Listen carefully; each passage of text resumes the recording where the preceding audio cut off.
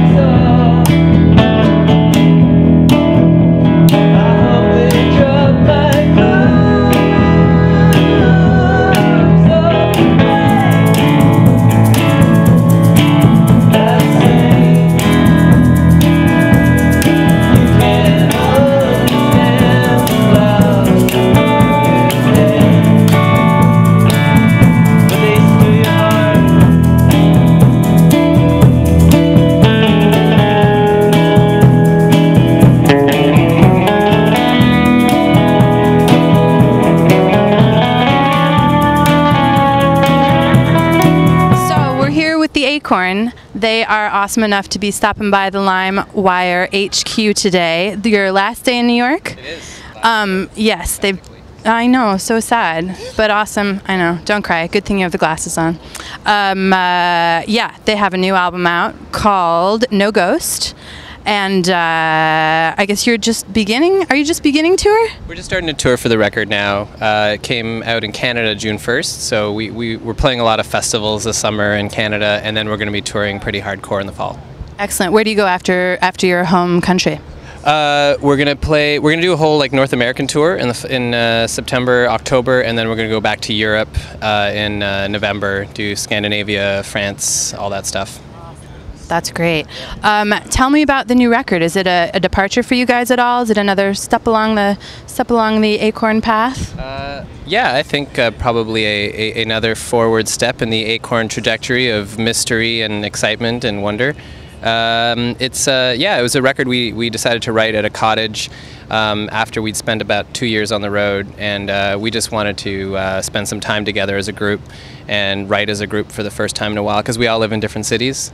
So, um, so it made for a really uh, an interesting writing experience, and we had this beautiful private lake uh, along with the cottage. So it was it was a, it was a really relaxed way to write, and yeah, a lot of fun. Yeah, that makes the process a little easier, I'm sure.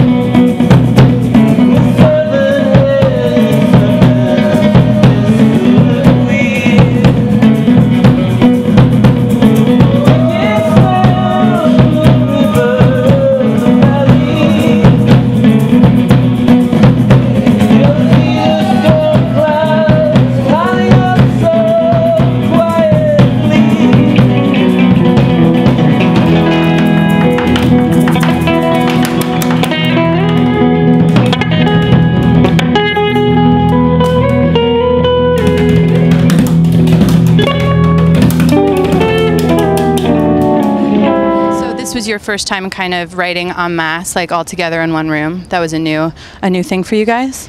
Uh, a little bit. Back in the day, when we used to live in the same city, we might jam stuff out every once in a while, but that doesn't happen these days.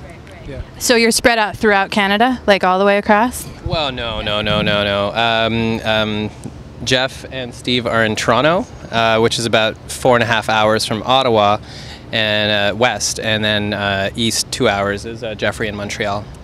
Yeah, yeah. Well, between the three of those cities, I feel like you've got quite a scene out there. To support you, or no? yeah, How do you feel about the Canadian music situation? Oh, uh, the Canadian music scene is amazing. Uh, we have a lot of friends across the country. Uh, I mean, before we came into the States and Europe, we, we toured Canada quite a bit.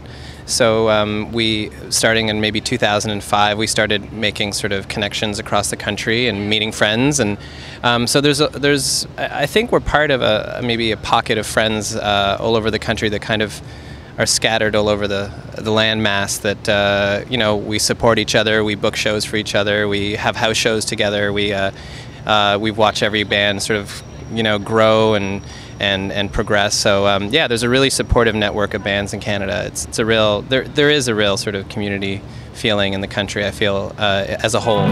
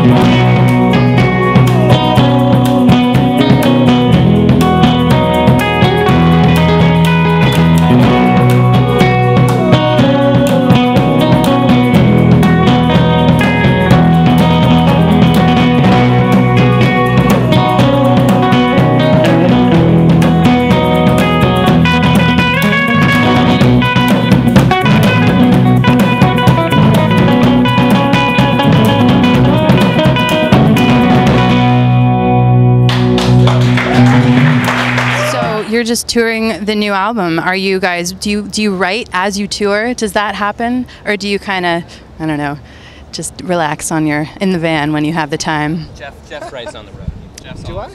Do you? I don't, but uh, I almost did once. You thought about it. Yeah, I, I there was like the small inkling that I might do it, and then I didn't. But um, and Rolf definitely doesn't write on the road. It was one of the reasons we had such a kind of a long time in between records. I mean, the first one came out in September 2007. Not first, the last one I should say. Um, and then uh, it's 2010 now, so three years. And we did a lot of touring on that, and I think that's part of what what held it up a little bit is that um, we didn't have a lot of time to write. Yeah, well, it's hard to focus when you're in a million places at once. Yeah, for sure. Um, well, we wish you the best on uh, your uh, the the Canadian tour, and then many other countries beyond that. And uh, yes, thanks for being here. I'm gonna say goodbye to you guys before we all melt away on this hot New York day. Thanks. Thanks